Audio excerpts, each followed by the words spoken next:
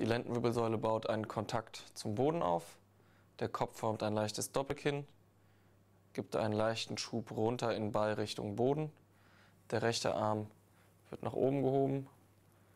Halswirbelsäule und Lendenwirbelsäule bleiben stabil.